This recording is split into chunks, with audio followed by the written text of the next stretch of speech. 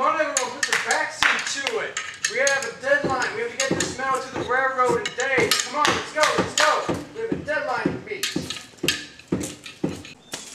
Can I help you? Uh, I'd like a job.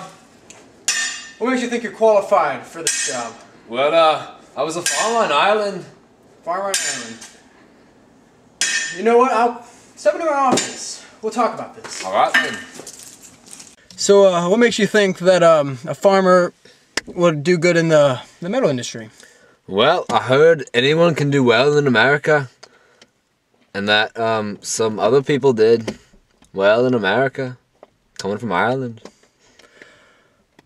Well, what, what makes you think that Carnegie would hire you? He knows me. He knows you.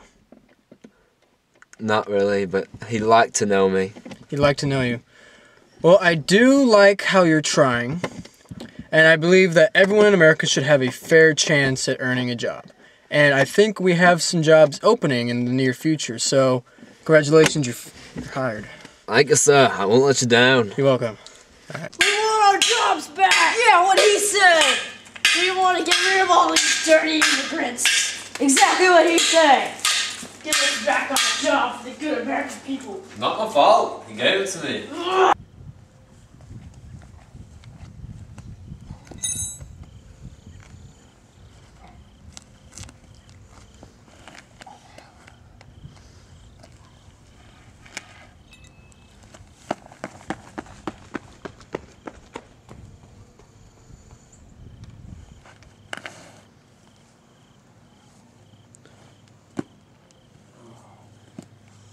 What the hell?